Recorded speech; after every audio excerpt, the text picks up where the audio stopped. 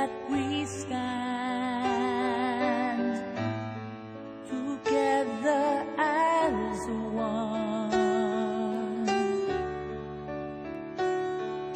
A new light inside us will shine